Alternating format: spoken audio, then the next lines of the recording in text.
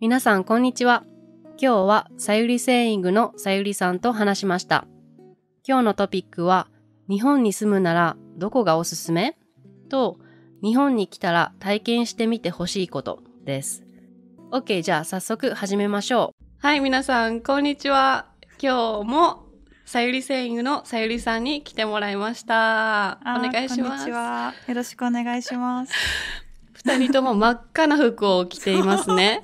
びっくりしました。びっくりしましたね。鏡を見ているようです。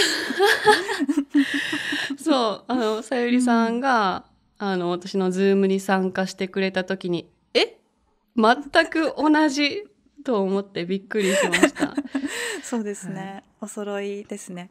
明日クリスマスなので、多分、はい。二人とも赤の服を着てると思うんですけど、うんあの、クリスマスとは全然関係のない話をします。はい、しましょう。そう。はい。うんえっ、とね、今日は皆さん、まあ、あの日本の文化とか日本に興味がある人が多いと思うんですけど今日は日本の旅行とか日本に住むことについてさゆりさんと話したいと思います。はい。はいよろしくお願いしおます。願いします。で、ちょっとはい今日は初級の、初級レベルの学習者用に動画を撮ってるので、いつもよりゆっくりめに話します。はい。はい。OK です。じゃあまず一つ目の 質問なんですけど、はい。えっ、と、結構フォロワーさんから、ミク先生、日本に住みたいんですけど、どこがおすすめですかっていう質問をよくもらいます。うん。さゆりさんもよく質問されますか？あーそう。あんまりされないですね。あまりその質問は、うん、もらわないですね。えー、私はい結構、あの、生徒さんとか、これから日本に住もうと思ってるフォロワーさんからよく DM をもらうんですよ。ああ、うん。なので、今日は、まあ、さゆりさんと私の個人的なおすすめの場所をうん紹介したいと思います。はい。はい。どうですか？さゆりさん、どこがおすすめですか、あの、その年齢とか、うん。年齢っていうのは年ですね自分の年とかやりたいことによって違うと思います。うん。で,、うん、で若かったら もし多分25歳以下ぐらいの人で都会大きな町に住んだことがない人だったらぜひあの東京や大阪をおすすめします。うーん。それははいやっぱりやることがいっぱいあるからですか？はい、そうですね。い面白い人がたくさんいるし、仕事でもあのたチャンスが多いと思います。そうですね。やっぱりうんあの大きいので大きい町なので、仕事も多いし、出会いの機会も多いと思います。はいうんでも今まで自分の国で大きな町に住んだことがある人は、多分日本の田舎もぜひ経験してほしいです。うーんうん。そうですね。はいで、田舎と言っても本当の田舎はおすすめしません。レベルが高すぎます。えー、どうしてどうして、うんあの日本人の方でも、まあ、例えば東京出身の方がとっても田舎に行くとやっぱりギャップを感じますね。違いがあります。だから私のおすすめとしてはまあ今私は四国の香川県というところに住んでるんですけどまあそこは都会でもないし田舎でもないんですね。うんうんうあのんすぐに東京や大阪に行けるしあの空港も国際線外国からの飛行機も来ているしまあ便利なところなんですよ。うんうんまあ、そういうとこに住むのがおすすめですね。うーんうんそのバランスがいいところですか、うんそうですね。まあ日本のいいとこ取り、その安全だけど便利。だうんし、静かっていうのも、うん、いいですね。あとう、んうん、あの、日本語の勉強、日本語の学習に関しても、やっぱり大きな町と比べると、英語や他の言語を話す人が少ないです。うん。だから、日本語を使う機会が多いと思います。うんうんそうですね。はい。あのやっぱり大阪とか東京だと海外に住んだことがある人が多い気がします。はい。うん、そうですね。そうそう。まあ、だから言語交換とかそういうミートアップ言語交換のミートアップとかもよくあるから人と出会いやすいのは、うん多分都会大阪とかうん東京とか都会なんですけど、さっきさゆりさんも言ったように日本語があのすごくペラペラになった私の生徒さんがいるんですけどその人は、あの東北日本の北に住んでいました。でやっぱりあの英語全然話せない人が多いので日本語で話さないといけない環境ですよね。そうですね。うん、日本語で話せないといけないのですっごく上達するのが早かったらしいです。うーん、そうですね。それを思えば、あと、やっぱ日本人って全国どこでも英語を勉強してる人が多いんですよ。うん、うん、だから、その地方、こういう、まあ田舎でもない、都会でもない地方都市っていうんですけど、そこで、まあ地元の人が外国人を見つけると、あの、寄ってきます。で 結構興味がある人が多いですよね。はい、そうです。んだから自分で頑張って友達を作ろうって思わなくても日本人の方から寄ってきてあの友達になってほしいっていう環境も作れると思います。あそうですね。その日本語の言語学習の面はあまり考えてなかったんですけどああそうなんですね、うん確かにうん田舎に行った方が日本語の上達が早いかもしれない。うんんそうで。すね。うん。あとうん方言を覚えるのも結構あの いいと思いますよ。地元の人と仲良くなれるので。そうですね。うん。うんそうですね。そうちょっと話は変わるんですけど、うんうんあの このこの間不動産屋さんに行ったんですよ。うん。不動産屋っていうのは、まあ、家を借りる時にお手伝いしてくれるあの会社があるんですけど、まあ、そこの方がベトナムの方だったんですよ。え。ーでいやもう日本語ペラペラで、うん。ちょっとあの讃岐弁その香川県の方言なんですけど讃岐弁を話しててすごく親しみを覚えましたね。うん。すごく近く感じました、うん。うんうんうん確か、に私も大阪出身なんですけど、うんうん。大阪弁ペラペラの外国人と会うとうん。なんだろうすぐ仲良くなれます。ううんん。私のやっぱりあのネイティブネイティブの言語なので、うんうん。うんうん。すごい大阪の人も大阪弁を話してる外国人がいると友達になりたがります。うん。あこの人面白い。話してみたいと思う人が多いですね。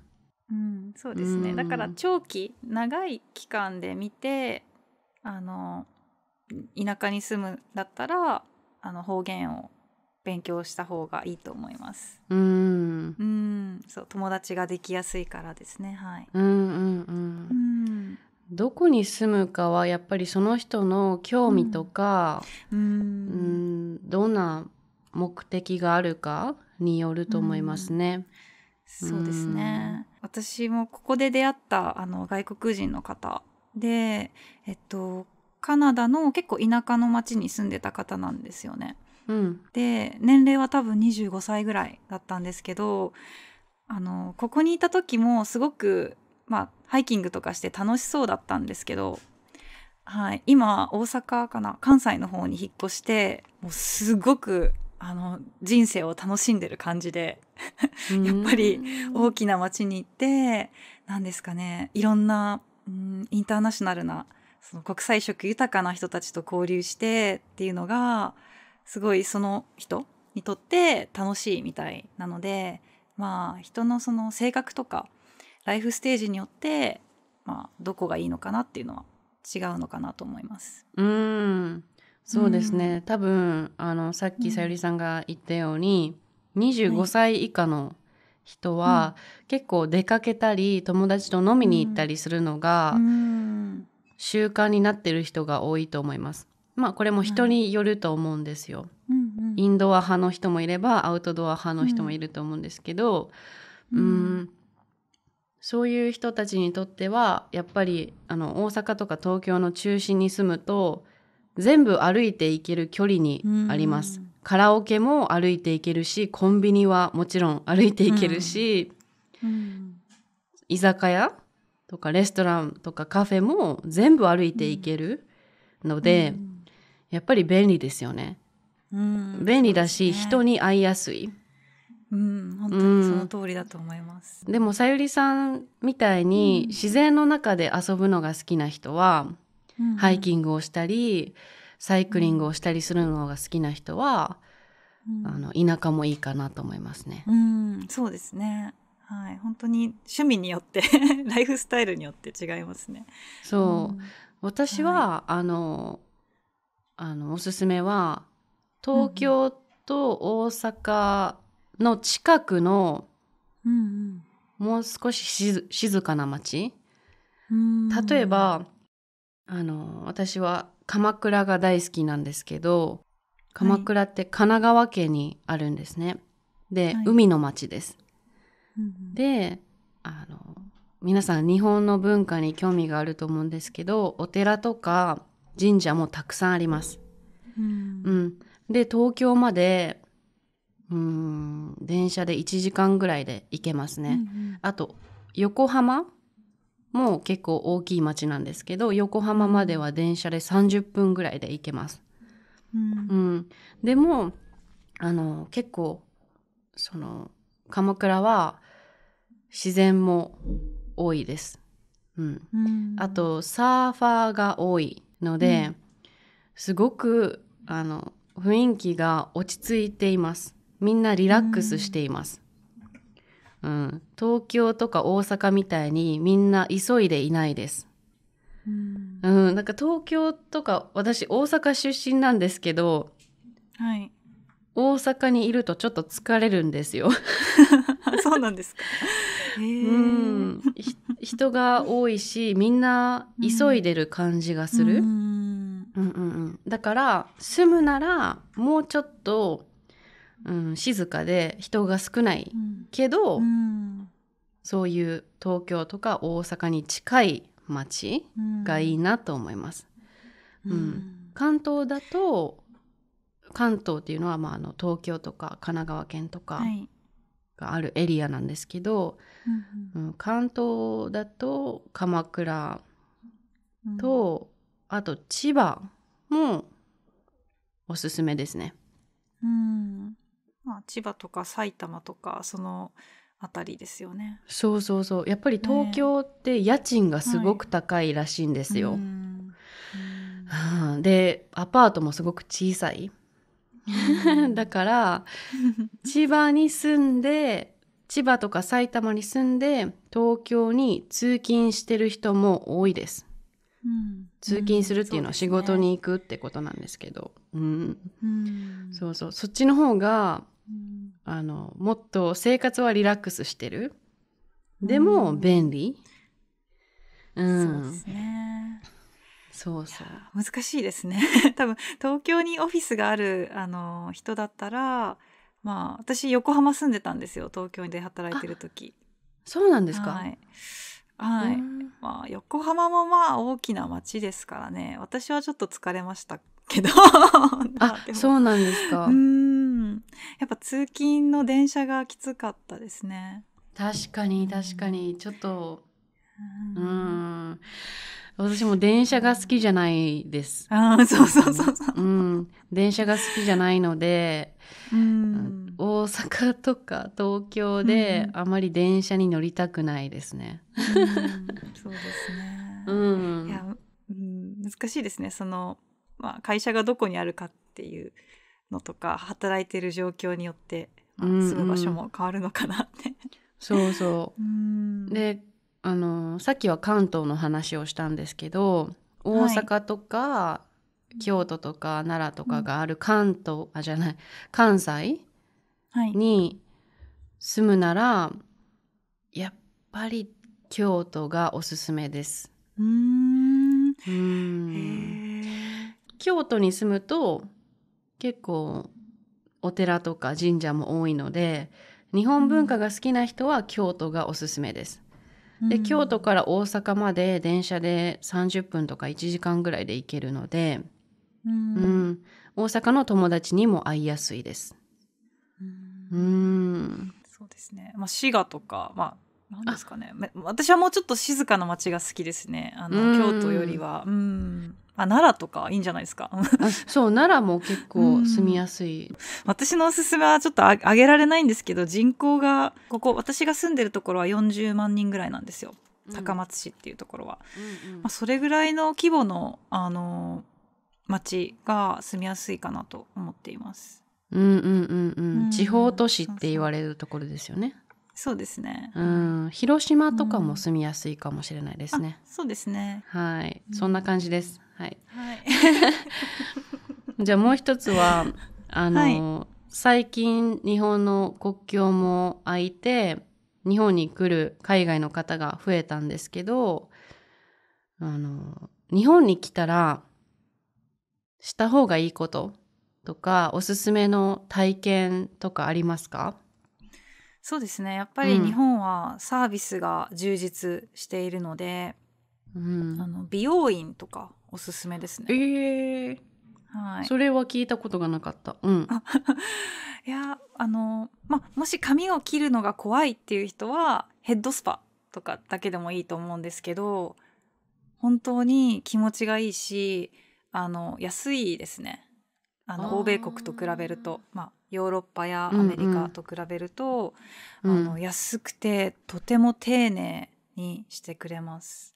そうですね。うんあの美容室に行ったのに肩のマッサージをしてくれたり、そうそうそうそ頭のマスヘッドマッサージをしてくれたりしますね。うう。ん。はい。そう。実は昨日行ってきたんですよ。うんうん。であの40分ぐらい頭をマッサージしてくれて か髪も切ってくれてこうセットもしてくれて肩もちょっと揉んでくれてそれで6,000いくらだったんですよね。ああ、そうですね。ドルだとうん40ドルぐらいですね。大体そうですね。うん。はい、安っ。プラそうプラスあのお話もしてくれるんですよ。うん。最高だと思いませんか、確かに。うん日本の美容室のサービスは結構質が高いですよね。うん、うそうんですね。そうそう。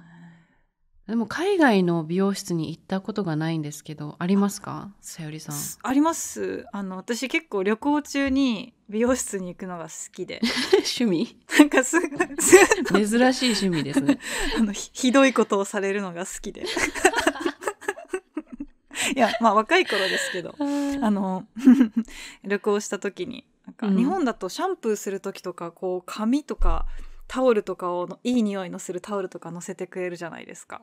そうですね。うん。うん、でもまあ外国でその当時、まあ、タイかベトナムで切ったんですけどもうそのままでもう顔がベタベタに濡れるんですよね。ええ 現れてる時に顔に水がかかるんですか？普通に。そうですそうですねびちゃびちゃになる、びちゃびちゃになってあの、まあ、その当時 まあ何年も前だからかもしれないですけどうん。であの全然タイ語とかベトナム語ができないのでこの写真を見せて「お願いします」って言ってうん。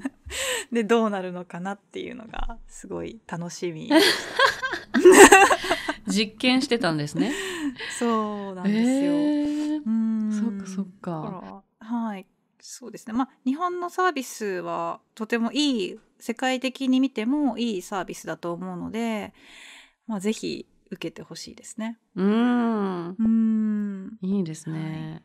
はい、うんそう美容室と、まあ、美容院とマッサージあと多分旅行行った記念にタトゥーを入れる人いると思うんですけどうん。あの、はい、海外とかだとよくあの見るんですけど、うんうんうんまあ、日本だとちょっとタトゥーショップを探すのが難しいかもしれないのであのネイルいいと思います。あーネイルサロン。ネイルサロンもいいですね。う。うんんそうそうあのすごく細かいアートがををしてもらえるのであの、うんおすすめですね。うんうーん。行きますか？ネイルよく。いや行かないんですけど。私も旅行旅行行った時に行くんですけど。あー。はい。なんか記念に。うん。そう。いいですね。キューバ行った時とかはキューバの国旗書いてもらったり。親指とかに。うん。ねそなんか、うん。日本のデザインはすごく細かいって聞いたことがあります。うん。ネイルとか、うん。ね、好きな人は行ってみてください。うん。うん。そうですね。あのケアもやっぱり丁寧ですね。ネイルのケアあのあデザインだけじゃなくてなんかオイルをこうなんか塗ったりこのなんですか手を温めてくれたり、うんうあん。のやっぱり日本のサービスはすごいですね。うん、そうですね。